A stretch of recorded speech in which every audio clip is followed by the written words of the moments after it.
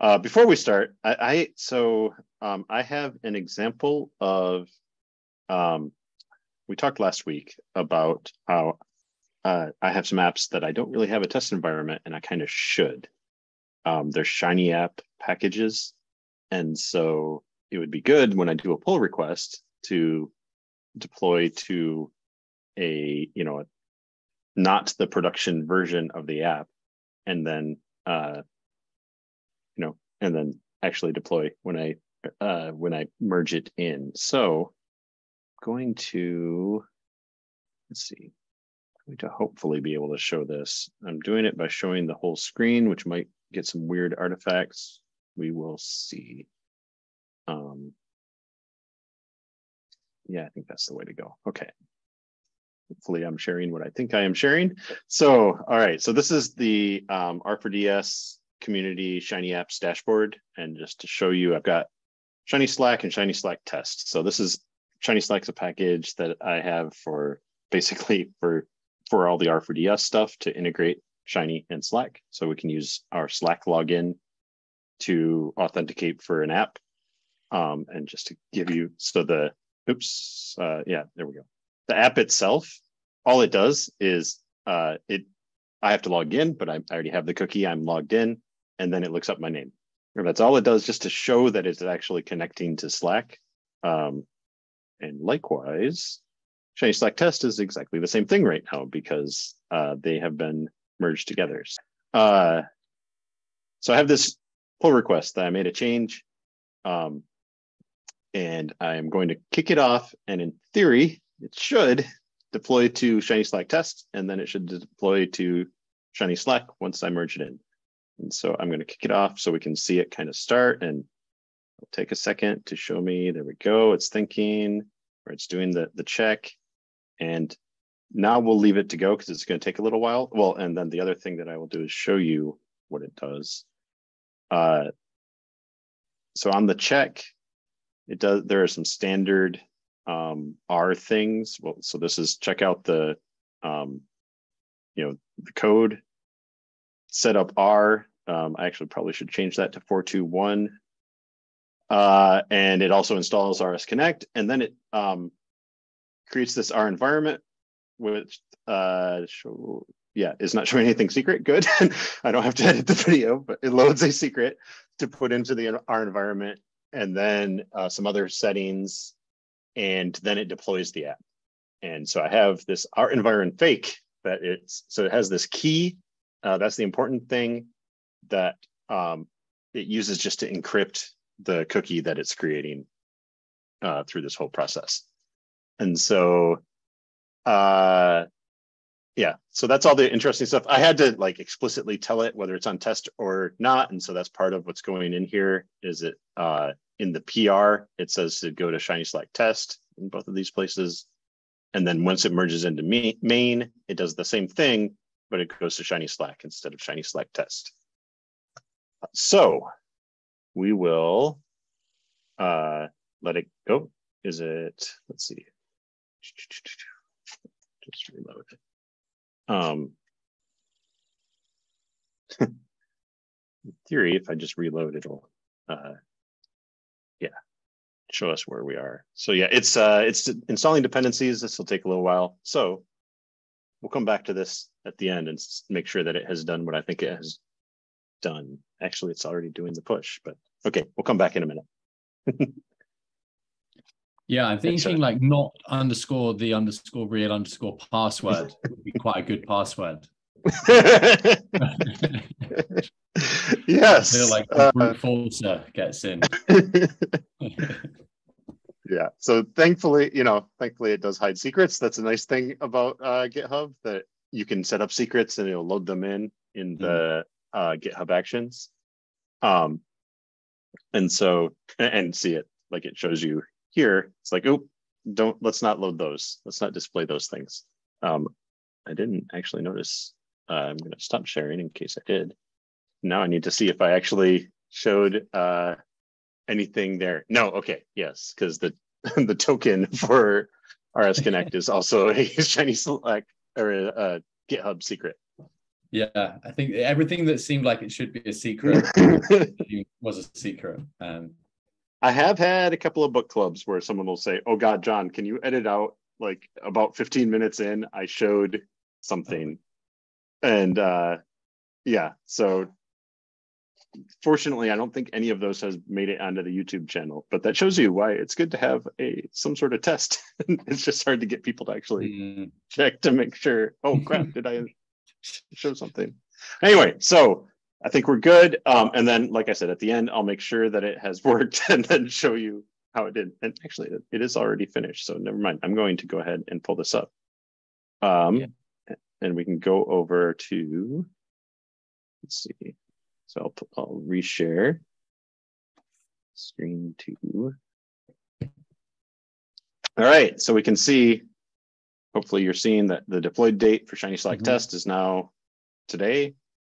Um, and that is this one. And so when I reload, all, all I want to do is make sure that it worked. And actually, in this case, the thing that I did should be putting a thing in the log. And I'm going to stop sharing for a second because I don't know what the log shows.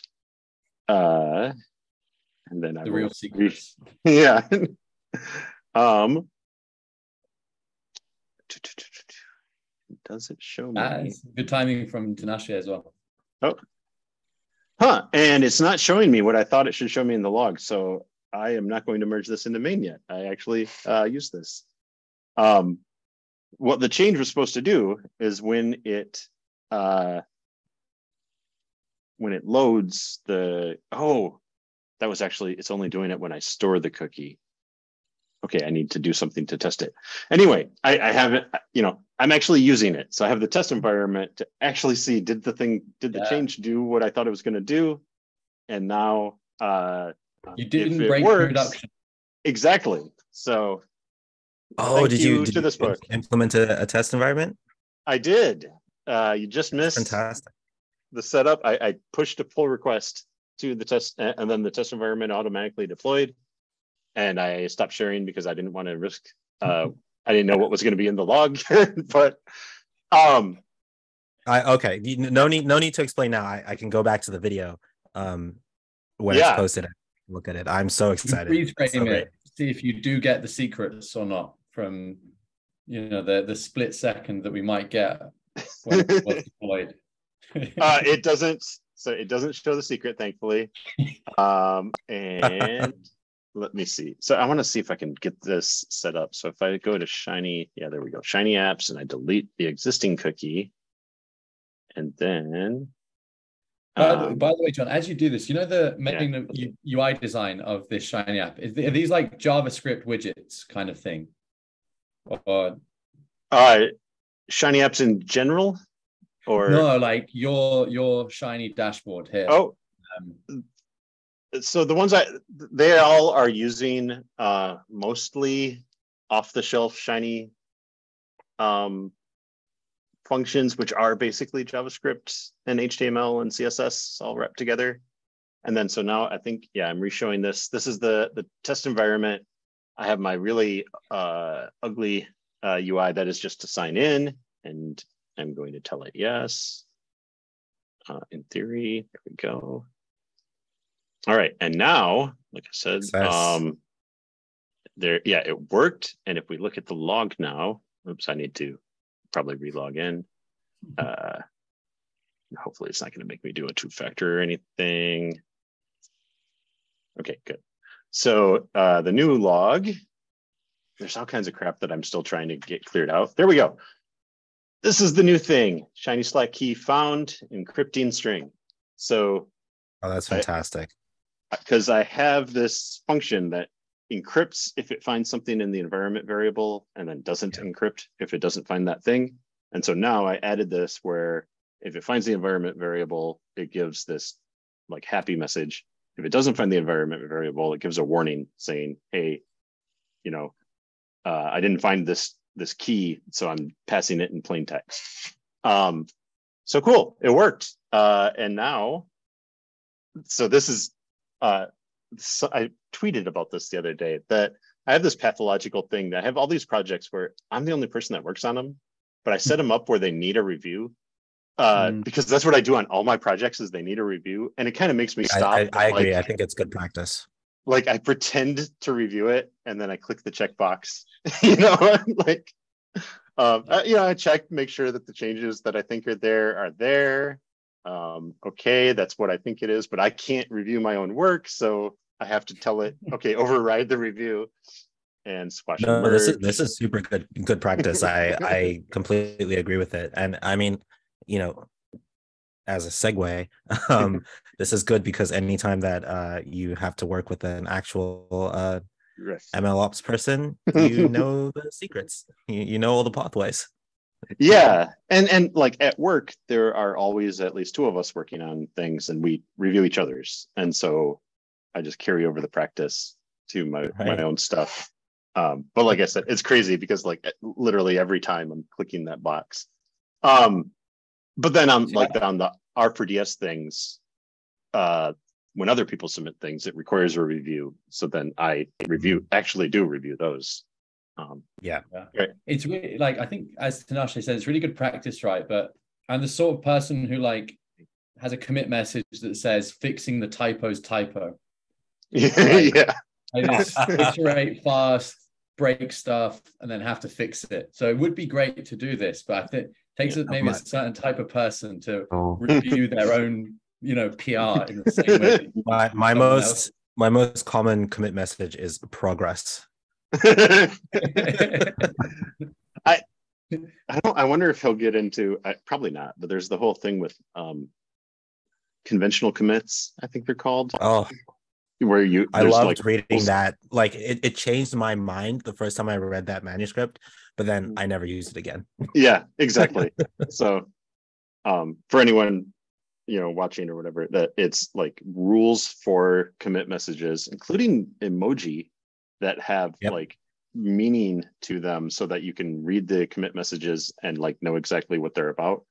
I have never come close to that. I do try to like I try to do more than just say progress, but you know, it's the 14th commit on something will often be just you know like oh come on you know please, please please work yeah. Yeah. Um, See, I tried to write like, "I'll oh, change this functions, this thing, right. and stuff," but like when you're really in the flow, it's just I don't know, doesn't yeah. seem worth it. And then I hate myself six months later when I can't figure out what exactly. I was trying to do.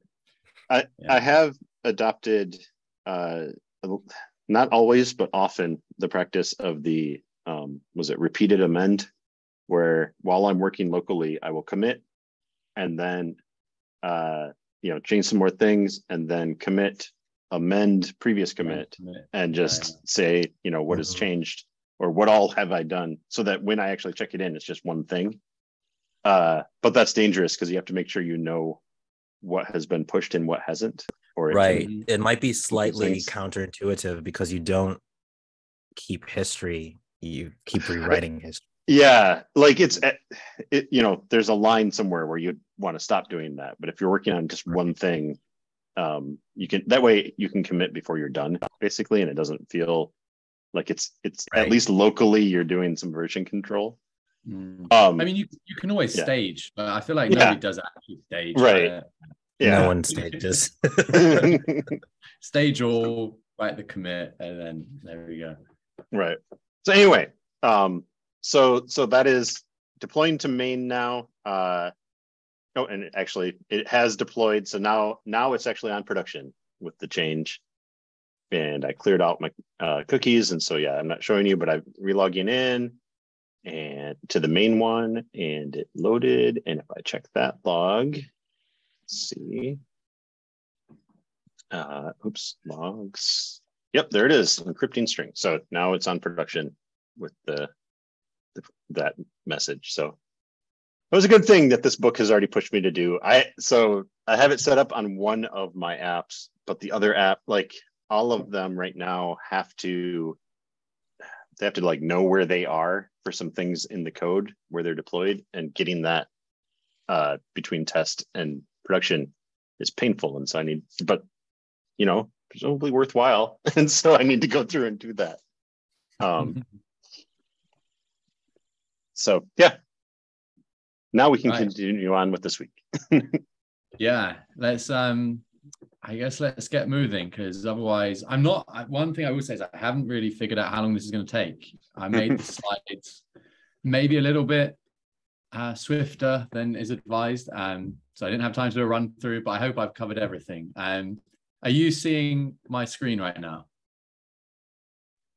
Yep. Yes, I recommend yeah. doing like a, a Control Plus a couple of times just to get it a little bit larger. I I need to one of these days update the font on uh, these. We're going to get a couple of memes that are going to be pretty large, but I think it's the trade off.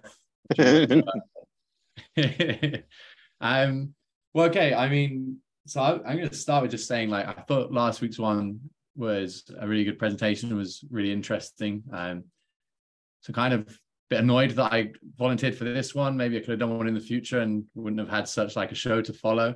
Um, but I kind of did like try my best. Um, to start with we're to come back to the learning objectives just i think it's good kind of practice as well kind of like the learning objectives is just to keep fresh of the top learnings that we've had before i distinctly remember trying to remember these five tenets coming back to read them yesterday and being like oh what was that like i couldn't remember this stuff so i think if these are guiding principles then it's maybe a good idea to um, keep thinking about these I'm not gonna I'm not gonna reread them. I think it's just a, a nudge to maybe re- everyone reread them occasionally, just because they help you build the mental model of you know what DevOps is and what we're trying to do.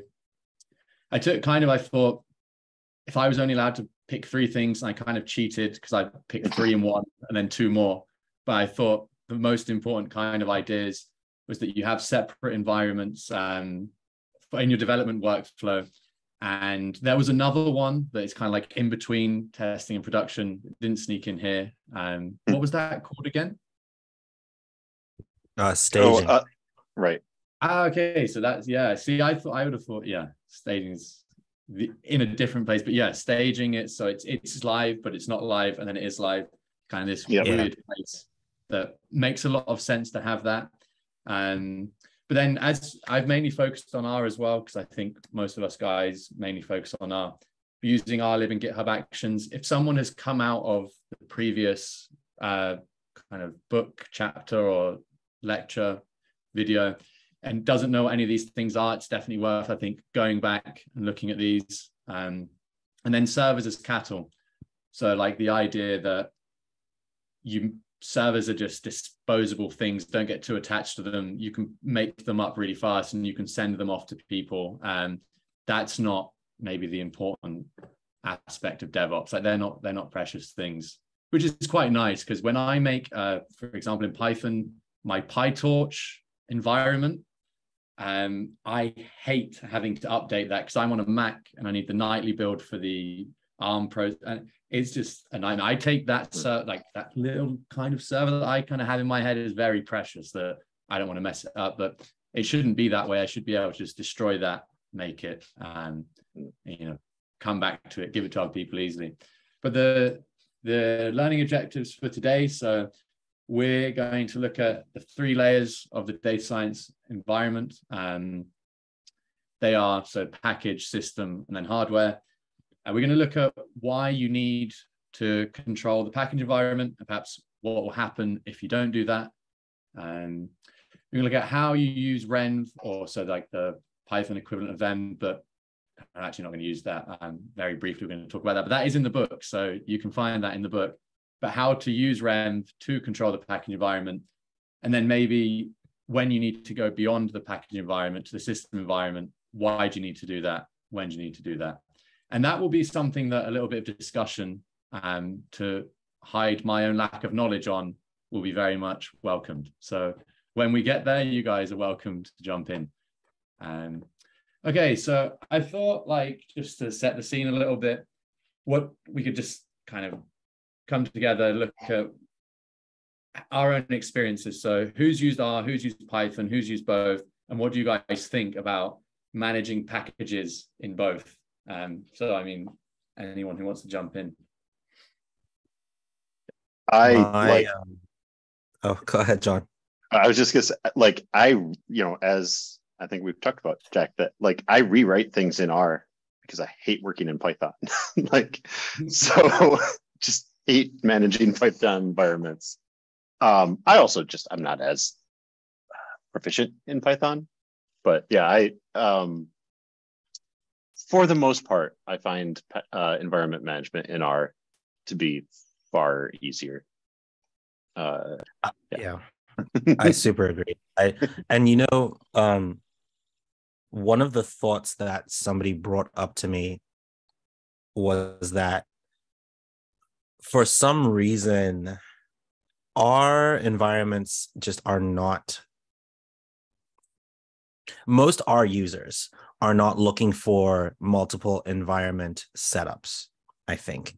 And i think that when you compare R users to python users in the realm of, of data science um, a lot of python users are people who are looking for or who utilize this multiple environment um, paradigm because they're working on different projects that require different um, packages that have very frequent updates, packages that are that are very low barrier to entry um, with pip and such. But mm-hmm. for R users, most of what we use is um, is validated and and and um, inspected by CRAN. So when we want to use a new package, the majority of the time, an R user is going to get it from CRAN and know that it's not going to break their environment, so to speak. So I think that's that's probably why environment management it has such a a, a lower threshold in R um, as compared to Python. I don't know if you guys can uh, agree or reflect with that statement. Yeah, I think so. I, I learned Python first when I didn't know much or any computer science or anything. And I felt there was just such a barrier of like stuff like working directories and file systems that you just don't have a clue about if you're self-taught and you're not right. getting formal schooling and I thought like, why is it this hard just to like get into my REPL and write a bit of code and just like right. get the libraries I want. And when I turned to R and I started using R Studio, I was like, oh, this is just the best thing ever. Like I can actually, I can do the stuff I want to do. And you didn't have to change anything every time you started right. a new project. Yeah. And now I think yeah. I could manage the Python stuff way better because I'm a few years down the line and I understand this stuff. But I felt like it really sucked as a new user to Python. Yeah. I thought it was just a, a horrible feature. Um, and I guess for the DevOps kind of target market or target audience, we can deal with that stuff now. So maybe right. it's not so bad. But if you're thinking about just getting involved with packages and environments, I think R kills Python, like destroys it. Yeah, it, it, the one that always cracks me up is, you know, they say uh, one of the differences between R and Python is in, in R, there are 400 ways to do anything. And in Python, there's one right way to do everything. That's like part of the, the culture. And I'm like, mm-hmm. okay, cool. So how do I install Python? And you get 400 responses to that. and so, yeah, it's like, uh, okay, so there's one right way to do everything except like using Python. yeah. So that always amuses me that's arguably like the most important thing right. being able to do something in python. Um, yeah so but no good. I, I, imagine we yeah. that's probably why all of us have used r so much more than used python um, yeah. because this thing when you're not ready to deal with this difficulty r extracts it away from you. Yeah. Whereas yeah. python just says deal with it. Like i should have had a deal you're with on it. your own. Yeah All right, let's um let's take a little look. So, uh, kind of left this very blank, and we're going to look in a little bit more at each. Um, but mainly we're going to focus on the package environment because, as the book says, we as data scientists we have most control of the package environment, and that is our domain. We might have system admins, IT, different people who are going to take care of hardware and system but we're expected to make sure that if we make a package or we make an update to a package, the people who need to use it just can use it. Um, so we will focus on that mainly, but we'll dip in to the others. Um, there are great visuals in the book about these things that I, as everyone's read it, I didn't necessarily see the need to put them in, but I feel like maybe I will retroactively add those things in. Um, just like the cheat sheets as well about like pip versus um, install.packages. But onto the package environment, this is kind of what I called like the data scientist life cycle. And I feel like everyone kind of went through this. It's you write first, like your first block of code pipeline that just does what you want. And it's just like, I'm a I'm a god. I just made this thing. I'd hate to have to figure it all out again. Um, so what I did, and this is like kind of hilarious now looking back, I saved it in a Google Doc. Um, so it was live, and I could get in there, get to the Google Doc anytime I went to a new script. I didn't really like using the command line too much. Um, and then I'd have this Google Doc, was like a repository kind of before I really knew much about GitHub. I was just putting all my code in there. And um, if I ever need to send something to someone, I could just go and get it from the Google Doc. And life was pretty sweet. Um, it was very uncomplicated time. But then you kind of like you, you start working maybe professionally and efficiency becomes like paramount maybe and you think well this is not ideal. Like i have to go and get this every time. So then you have to start plugging in new variables new data and you're like okay like i have to learn how to make functions. Um, and you make a function. And then like passing out your function every time you make a change from your google doc is just like ridiculous. And maybe it took me too long to realize this, but eventually you realize you need to make packages that are portable, which is one of the key things about the package environment in DevOps, is that it's having that package means it can't be changed easily by things on the machine and it's you're able to transport it to other people. So you make your first package and then I think you really do start to develop like a I am a real God complex. Like, this is amazing. I can send this to other people like everyone else can do to me. And then if you work in R, you plan some time to get it onto CRAN quite soon. But if you really work in R, it's just really soon. And then it's it's really, really soon. Yeah. And any day now.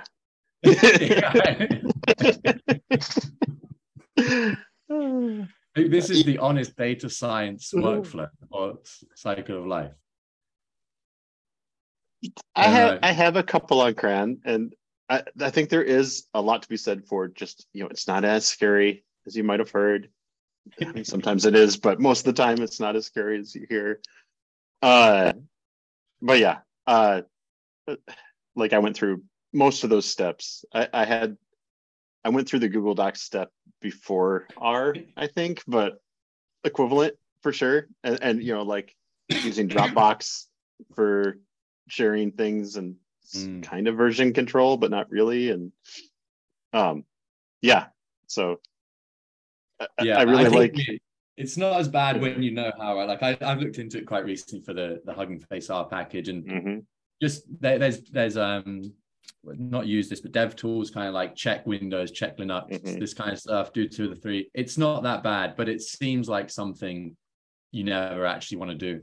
But it does does kind of allude to a really important point that I think Alex makes that stuff like CRAN and Bioconductor and R and pip, Conda, all these things are so useful because they really they help us do a lot of this stuff. Um, we maybe get onto a bit later where Alex recommends maybe not using Conda, for example, in production. Um, but when you're a data scientist getting started and you're on your road to having environments as code that are, you know, pass all the tenets of DevOps, those things, they're great. Um, but then one of the things Alex kind of picked out um, was like this bit of code. So I have mixed feelings about this because I don't do this because I know it's rude and I know it's bad, right? but also there are people in my team, say, or people who are not in my team, but the people we make scripts for, RMDs for packages, who they don't really know how to even install packages. Like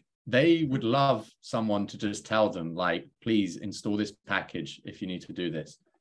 Obviously, it's maybe we're a bit further along the line um, in getting into DevOps and stuff and I understand the hate for it. Like you shouldn't change someone's system environment because of all the things we're going to look at in a minute. Um, but I did want to flag it as something that if you're like if your production is someone who knows no R, knows no anything, like sometimes you have to do these ugly things. I don't know what yeah. you yeah. think about that. No, I, uh, I, I totally agree. It's um it's it's one thing to go the full Monty, right? And develop a package and develop a Docker image and develop, you know, a, a, website with all the things that you, you know, you can instruct somebody to um, use your your software. But on the other hand, there are are you there are legitimate users who just say, I just download downloaded R five minutes ago, and I'm looking at the little R. They're not even looking at RStudio. They're looking at the little R terminal, and saying, "Can you please just like make it work? I only need this for ten minutes." Mm-hmm. Yeah, there. I mean, there is that line, um, and, and line's not even right because there's all these little islands. You know, of sometimes this, sometimes that. For example, if you wrap everything that you're doing into a package and tell them to install the pa- that package, you're effectively doing this with all of the dependencies of that package. You know, you're just mm. auto installing all these other things that your package depends on. Uh, well, uh, imports. Um, so yeah, there are definitely lines. I don't, you know, I, I don't like this particular way of doing things, but I can see that sometimes it comes up. Installing packages, uh, that's a much better version of this type of thing than things like setting a working directory, um, deleting things, you know, things like that. Like, please mm-hmm. don't randomly do that in your scripts. Yeah, certainly don't make yeah. changes that the person is not even not like would never consent to, but not even implicitly mm. consenting to by like right loading yeah. your package.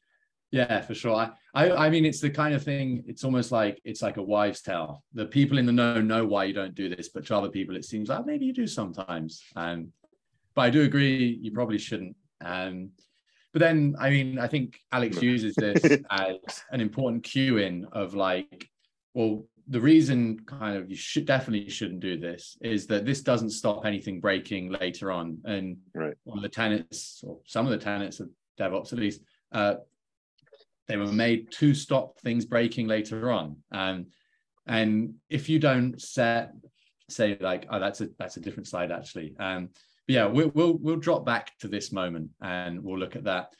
I like to kind of kind of uh, term something in my own kind of way, um, and it's similar to the ingredients in the kitchen. Um, but so on this side, I was trying to think of my own little analogy, um, just to see that I had the idea kind of right.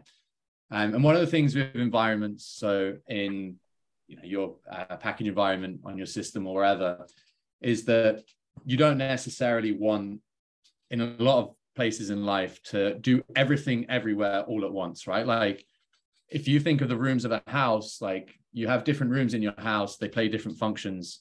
And some of them could play the same function, but others of them like really can't play the same function.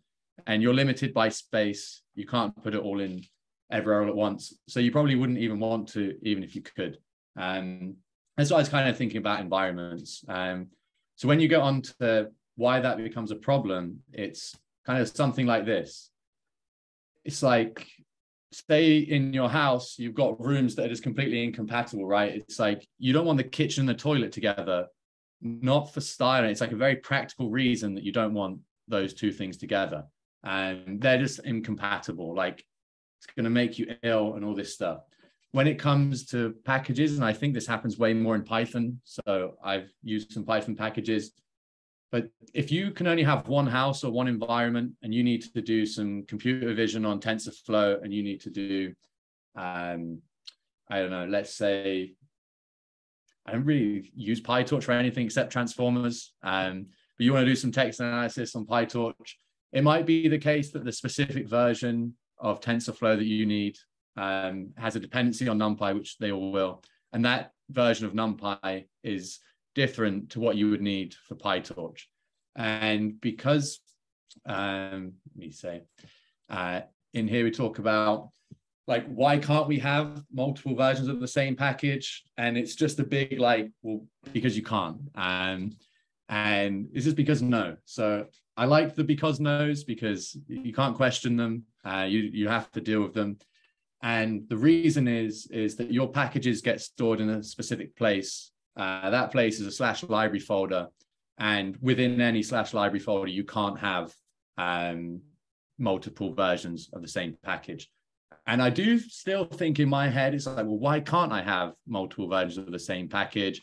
And it's just because no. I'm sure there are some, you know, similar file names and whatnot that do mean it. But in my head, it kind of thinks like, well, why can't that little folder in the package be like a project or a different environment? And it's just called NumPy 3.1a. And I, it's not mine's not the reason why, uh, but it's good to know that that's why you can't uh, have both of those TensorFlow and PyTorch, or if it's dplyr or whatever. Um, something I maybe haven't put in the presentation, but that is important to think about is stuff gets deprecated over time. So sometimes you do just absolutely have to have a version of dplyr that has functions that are now deprecated because you don't have control over something that's been deployed in the past and it has to work. Um, arguments have been changed, functionality.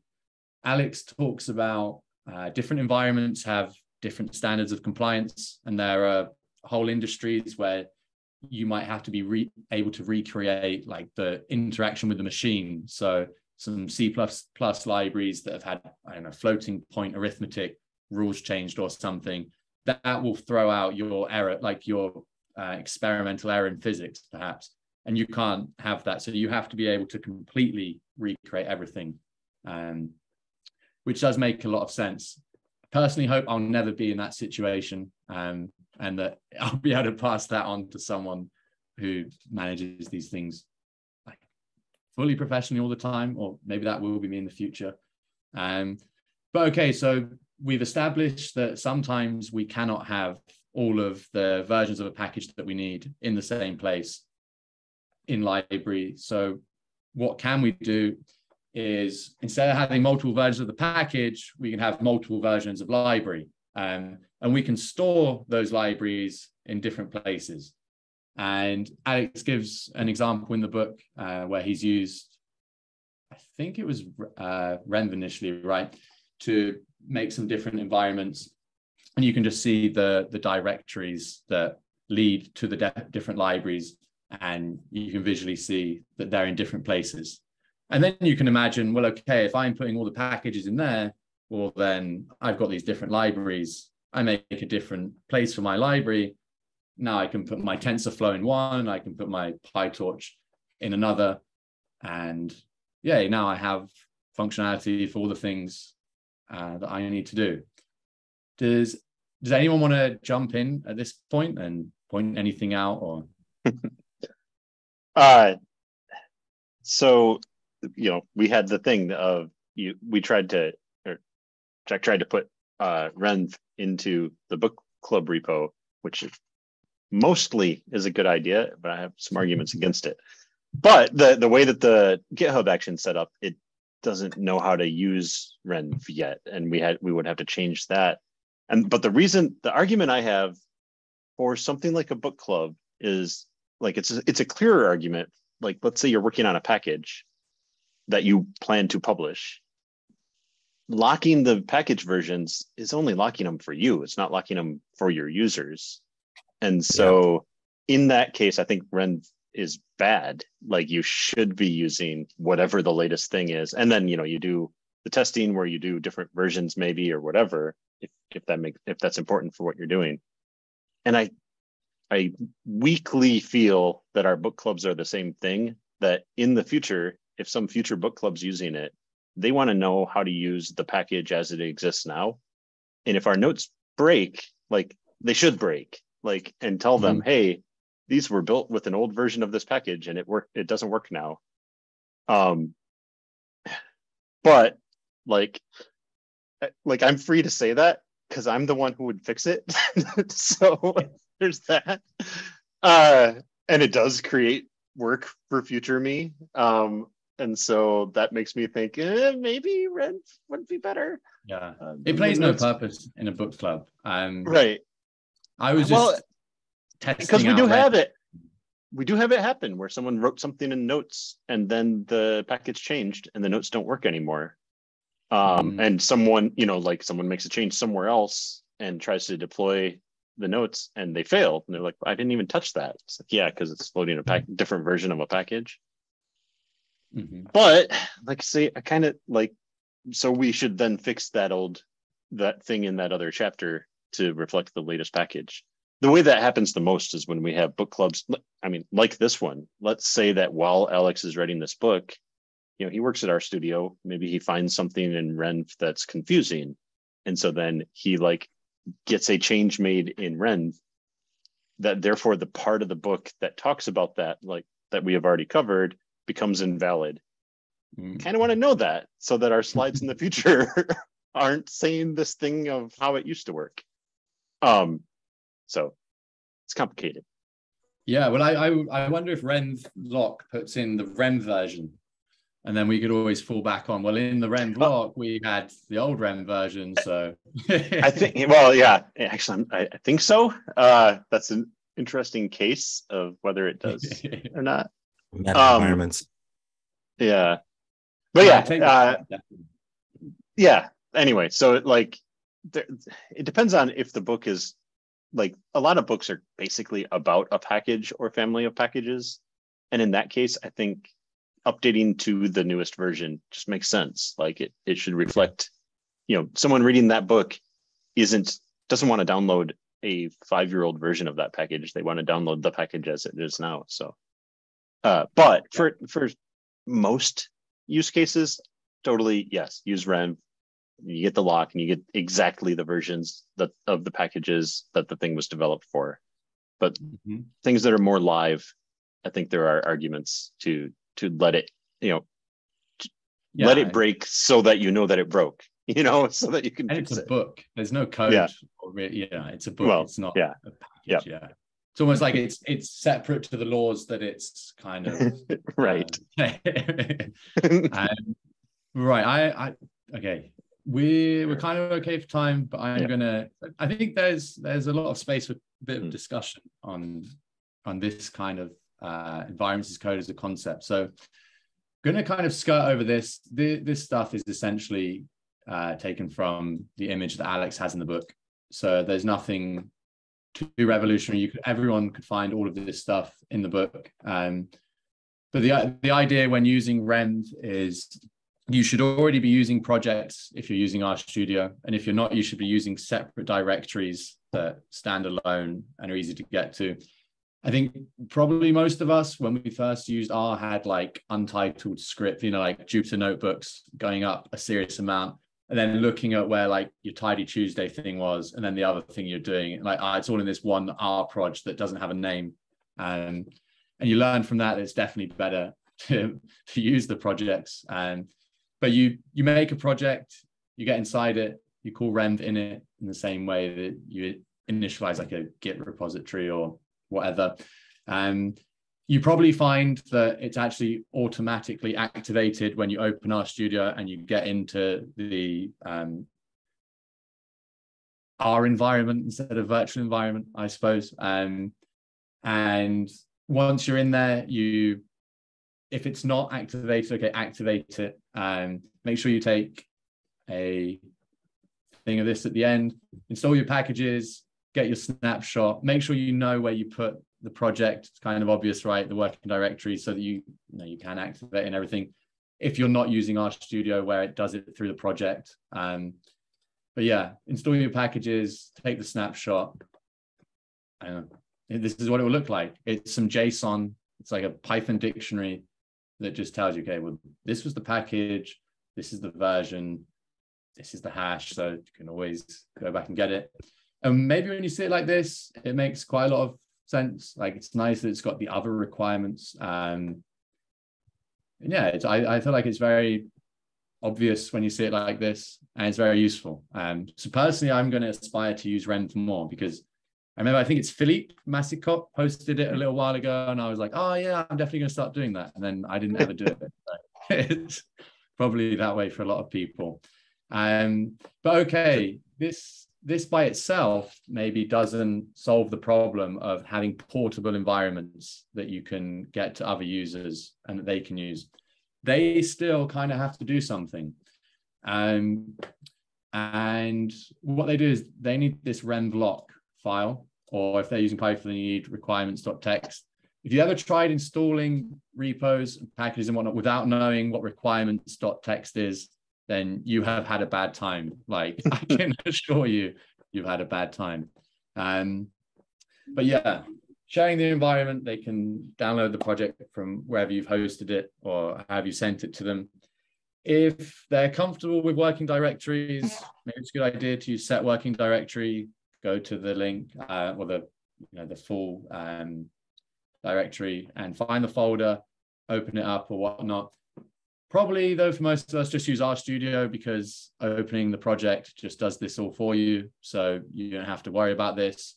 And I was a little bit confused at this point. It's like it said to use renv in it. I guess a new user also needs to initialize renv, but I wasn't sure if I just didn't kind of understand this correctly. Um, try it out, see if it breaks stuff. I'm sorry. Um, and if not, then if this didn't happen automatically when you open the project, you need to use renv restore. And one of the things I think I, I think the, the, the confusion is that renv init um, actually goes through the process of um, opening up your .r profile profile file, um, which is where it writes uh, renv activate. Uh, so uh, renv activate is what accesses the lock file. Um, but anytime that you open an RStudio project, .r profile is sourced. Um, and so that means that if uh, if activate is in your R profile, then anytime that you bring up the project, renv does its thing. So I think it, when you when you download somebody's project, the assumption is that you don't have their R profile file. Mm-hmm. And so that's why they recommend doing renv init because renv init will be like, do you have an R profile? If not, I'm going to start one. Yeah. Okay, nice. Yeah, makes sense. Um, probably maybe should have read that. Was that in the book, or did you you just knew that? I I think I just read that from the uh, um uh uh vignettes. Yeah. Okay. Nice. And yeah, that, that that's the process. Showing the environment, then everything should be happy. Everyone installs the package. I think Alex put a note in about like, okay, you do this, you send the project over, but your package, if it's a package, doesn't get installed on the person's computer. Um, so they still have to do that. And it's maybe a little bit annoying for people because you think, well, it should. Um, but I guess it's it's a small. If you've come this far, it's yeah. a small step to just install the package as well. And there was kind of like a note on, on kind of, by this time I was really getting short on time. So I was uh, like, or essentially quoted the book. And I've used Conda quite a lot. And I mean, again, at the start in different um, environments. So when I didn't have to work with other people and I was learning, I thought it was great. Thought it was perfect. It abstracted away a lot of the difficulty that's having with Python. Um, but Alex mentions that the reason it's so nice is that it combines a few different things so it can put together the package environment and the system environment and do things that you maybe want to do on your own local laptop but that you do not want to do in production um, and this is certainly something that we could talk about further um, but he recommends just taking the plunge learning how to use in python venv or venv um, obviously in our our. And I think that makes sense. If you come this far in coding and you're getting to DevOps, like if you've got to learn how to not rely on something like mini Conda and Conda for software installation, then yeah, it's not necessarily a bad thing. Um, and you'll save the people that you're serving stuff to maybe some problems, which is you know what we're all kind of after. And then finally, so this was I was trying to think of uh, reasons or my past experience where you need to take control of the system environment. we have to do that quite a lot in the Hugging Face R package because it's wrapping around Python through Reticulate. We have to check a bunch of things. We have to add some dependencies. It's like maybe a little bit annoying. And Alex gives a case of some geospatial libraries where they are themselves calling system libraries. So you have to make sure that the change is not happening at that higher level of the package because it depends on the system level itself, um, which to me made a lot of sense. I can't say I've used these geospatial libraries, but the idea makes a lot of sense, remembering that the system uh, level depends on, oh, sorry, the package depends on the system, which depends on the hardware, um, which makes a lot of sense. There was talk in this part about Docker. Um, so I've used Docker a bit. Uh, I wouldn't profess to be an expert or anything. Um, and Docker, Colab, all these things do this kind of for you. Like they give you almost like a new system, essentially, that it's like a server pops up, pops in and out of existence. You don't have to deal with things. It will change its own internal system, like its own file system and stuff for you, which is nice. But as we had uh, number five coming up, Docker for Data Science, I thought I would kind of pass the buck on going into Docker. So someone else will have to. um, and then, yeah, there was uh, a recommendation for Alex, a further reading. It's what they didn't tell you about R. Um, so I don't know if you can see this part of the screen. It's a book by Jennifer Bryan and Jim Hester. I haven't read it. I haven't had time yet, but it's something I may be bookmarking to read if anyone wants to, they will find it. Ooh. Yeah. yeah, they do uh, workshops about that too. Um, that I, I haven't. I also haven't read that one, but that's on the list. That we'll probably do a book club of that because it's a good kind of baseline. it seems like it's got lots of just how to are. Um, mm. so. Yeah, I th- do. You, do you find though that your list uh, is moving faster than the speed of light. It's like galaxies that will never come back into contact, right? There's all these books, and then it's just inflation happens, and the books just get further and further away from from you so ever read.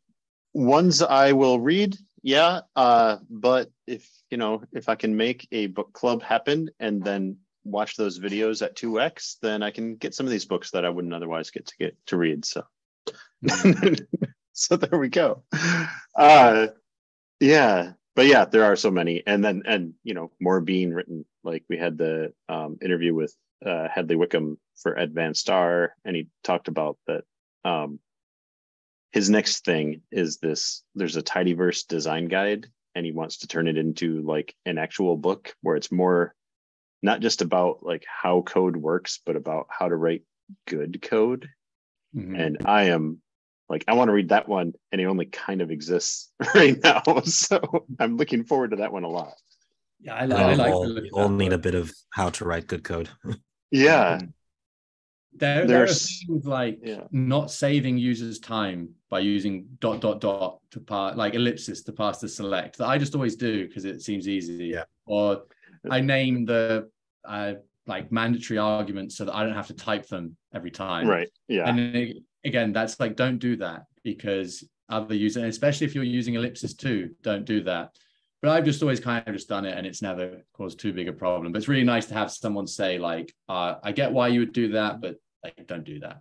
Well, and yeah, I think largely right now, the how it exists right now, it's mostly just the rules without going into that much about why. And so that's I think part of what I'm looking forward to is seeing him really explain, no, you think it's mm-hmm. okay and, and most of the time it'll be okay except then when it isn't it's a real pain or whatever yeah. So um anyway uh yes the rstats wtf uh, yeah. definitely want let's, to read um, let, us hmm. take a look at the last slide so right. what i did is i wanted to opinion uh, on this and then i'll retroactively edit it and it's like what did we learn or what did we discover and are there things we didn't mm-hmm. talk about discover that we do need to um rather than me write, this is what yeah. you learned. So nod your head and say yes, kind of thing. uh, what what do you guys think about about these things? Uh, I mean, that first one, that's actually it's not a great learning objective because it's just one question, and yep, I can list those three. Like it's uh, right, okay, it's uh, package uh, system and hardware. There we go. So, um, so that one's good. I don't know. Anyone want to have thoughts on the second one? I mean, I, I, I, I appreciate the um the section on avoiding uh conda in Python as as it relates to this mm-hmm. learning objective, the second learning objective. But I'm just kind of I think I was just sort of surprised really that um Alex took issue with with like I I mm-hmm. I I can appreciate his reasoning, but I was just very surprised that um you know controlling the package environment with something like Conda was ill advised because that I has been my bread and butter for so long. Right, like yeah. it, it's that it does something to the system environment sometimes, mm-hmm. which mm-hmm. is that was like the weight of the objection. Yeah, yeah, yeah. So I was, I, I think I, I was just, I, I'm reeling a little bit yeah. from that, from that learning, from that realization. it's funny because there, there is still a little bit of fogginess or, or fuzziness on the line because like the R version, okay, that is separate, but when you install certain packages uh, in certain environments, it'll install the system dependencies along yeah. with the package. Yeah. And so there is a fuzzy fuzzy line in uh, Ren for RN two in some cases, um, but less so, I guess. Um, and yeah, I can understand you want Docker probably, or something like Docker. That's your system piece, mm-hmm. and then packages separate. Um, but I, I think we did, you know, okay, it's important to control the package environment because packages change and you want to make sure your code actually runs the way you think it's going to run. So yeah. that makes sense. Yeah. Um, why it's always very distinct from system. It's a little, mm. little fuzzier to to wrap my head around um, because it isn't always, you know, it's not always a hard line. Um, but but I can see why like you want to don't use Conda, use Venv and Docker, mm-hmm. and that's what Conda is doing is you know. But that way you can look at each piece and and you know use the same image for all these different things, and that way you if you're changing the overall image, then you know that you're effectively changing the machine, you know, yeah. like the production server or whatever. Yeah. So yeah. Um. Yeah, cool. I have, have just have one question. Sorry for. Yeah. no, go um, ahead. Yeah, I've not uh, discussing with you because I have audio issues. Not know why. Um. So I find it mis- some some kind of misu- misleading uh, words in the Docker the Docker when he mentioned Docker because he said that Docker is um, infrastructure as a code configuration tool. And I don't think this is what really Docker are, right? Hmm. I think yeah, Docker could you, could um, yeah, because uh, I think of Docker as um, just it's like it's like a virtual machine. We will go into it uh, in chapter five or so. Um, I think I think of it as a virtual machine, but we don't have uh, in a virtual machine we have a kernel, so we, we build the whole, the whole the whole system with the kernel inside. So we have the, our local system, and inside it we have another system. But in in containers and in Docker, we we don't we rely on the kernel of the operating system, the host. Uh, that's why it's very efficient to run multiple containers is the same device. We are just relying on the kernel. Uh, we're not building a new one. And uh, that's why it's easier to use Docker and faster and also uh, consume less resources from, uh, from the machines that you're working on. Um, so this is how I think of Docker. It's like a containerization tool uh, that you build a small system in it, but without uh, consuming a lot of resources. Hmm. So so like like Docker is is not you so you're saying you wouldn't call Docker an environment management strategy. It's only a like container and kernel management strategy. Yeah, yeah. Um, yeah, that's I guess that's my thinking of it. Uh, because if infrastructure as a code, we talked about infrastructure as a code uh, in the last uh, session, and Mhm. it was managing the infrastructure on the cloud. I think I think this is mostly what meaning of the infrastructure as a code. So are, you are just um, configuring all the stuff in the cloud in in the simple YAML file, and like just managing the resources in the cloud. Uh, but Docker is, is, is something else. It's like uh, building a virtual machine or something inside our. Uh, it could be used. It could be configurable by an infrastructure as a code tool, uh, like we uh, we do this. I think in uh, even in, in in GitHub Actions, we we somehow building a Docker image or a container in the GitHub Actions, and we set up all the stuff in it. So it's like containerized um, the packages, uh, the system packages, and the environment packages, all the Mhm. stuff in in a in a containers, and we run all the like the steps on these containers in the cloud, which is GitHub. So yeah. yeah, Yeah, no, I think I think I agree. Um, as far as as far as using Docker for environment management, it's kind of like the it's a higher level um, than just basic, you know, code versions. Um, it's going down to the like the system level, right? yeah. Mm. But d- does it not collapse into the same thing? Like, does it not? It fulfills the role plus more. So it's like the environment Mm. management is subsumed by the virtual machine, right? But Mhm. they're they're not necessarily. I don't know. If, is it like a distinction without a difference kind of thing, or what would break if you thought that Docker was environment as code, also like taking care of hardware in the virtual machine? What what's wrong with that kind of setup, like conceptually or practically, is maybe what I because I don't know Docker well enough, don't necessarily get.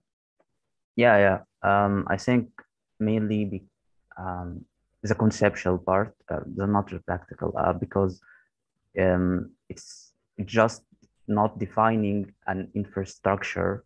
It's not defining an infrastructure. We just build already built images, We predefined images on um, a containerized uh, virtual machine. So it's uh, it's like we putting stuff in a container. So it's a container. We have a lot of stuff in it, but we are not building the infrastructure. I'm I'm talking about the naming. The naming is maybe confusing for for the readers because there is an infrastructure as a code tools, but it's not Docker. If you But the Docker so- is. Yeah. So it, it's environment as code rather than yeah, may, Yeah. may- yeah, I so if I if I said it's infrastructure as code, I maybe misspoke. Um when I was I like highlighting this. Um yeah, Alex definitely says it's environment as code in the book, I'm pretty sure. Um but then does say that he will be talking about it a lot more here. So hopefully this Yeah. thing yeah. because I, I feel like I'm I'm still a bit foggy on Docker myself, so I can't I don't know if I've made the right clarifications. Um I think, I think even Docker uh, professionals are foggy on Docker. yeah, it's it's a good tool to like to test your uh, your things on a on a local machine. Yeah. Um, we need to wrap up, but before we do, I just wanted to make sure to point out that we're off for the next two weeks. So next weekend, there's nothing, and then the weekend after that is going to be the project club. And then the following week is chapter three, and currently nobody is signed up. Uh, what is chapter three? Data science project components. I can take it if uh, no one else is super uh, anxious to take it, but um, Um, Ahmed? I would I would yeah yeah, yeah pointing fingers yeah. Uh, All right. Yeah, I would take it. I, I I could take it, but I don't have the, the data science background. Uh, as I already said, I I laid on data engineering things. Um, but yeah, I could take it. No, no problem. I would sign Okay. up. Don't, don't worry about the design. Look at some of these slides. Like yeah. there's not even bolded text. Like really don't worry about the design. Excellent. And like if it, uh, I don't know, I think there's something to if a chapter is like, oh, I if you look at it and you're like, I know nothing about that chapter, that's the best one to sign up to present. Um, Mhm. because those are the ones Yeah. where you know Yeah. when you present, you've got to you got to learn it well enough to talk talk about it, and so it it can be really helpful uh, to do that. So, Yeah. excellent. Um, and you've got three weeks, so plenty of time to prepare. Awesome. All right. Anything else? All right. I will see everyone. Well, hopefully I'll see most of you in two weeks, but uh we'll see you for this in two or in three weeks. Yeah. Happy Thanksgiving, right? Soon for you guys. Uh right. that'll be after, but yeah, it's end Ah. of November. Sorry. but thank you. All right. Cool. Cheers, Bye. everybody.